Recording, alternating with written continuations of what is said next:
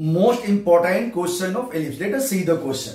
Question is center at origin major axis on the y-axis and pass it through the point 3, 2 and 1, 6. Then find the equation of ellipse. So center origin major axis on the y-axis. So our equation will be what? That is x square upon a square plus y square upon b square equal to 1. So this is the first equation. Now the equation passes through 3 to so it will satisfy the equation. So put x equal to 3 that is 9 upon a square plus again put y equal to 2 that is 4 upon b square equal to 1 this is the second equation. Again 1 6 so put x equal to 1 so this is 1 by a square Put 1 equal y equal to 6. So 36 upon b square equal to 1. This is third equation. Now solve the second and third equation. For solving, multiply the third equation by 9. So this is 9 by a square and this is 9 by a square. So this is plus minus sign change subtraction. So this will cancel out.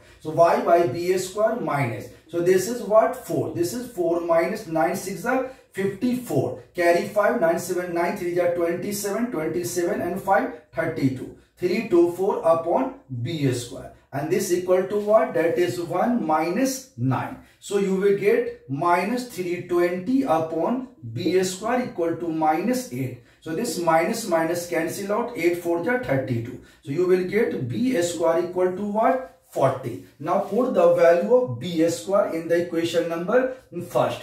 So for in second, so when we put the b square, this is 9 by a square plus 4 by b square. So this is 4 by b square is what? 40. And this equal to 1. So this is 1 by 10. So this is 9 by a square equal to 1 minus 1 by 10. So you will get what? 9 by 10. So this 9, 9 cancel out. You will get what? a square equal to 10. So equation of ellipse will be what? x square by a square that is 10, y square by b square that is 40 equal to 1. Thank you.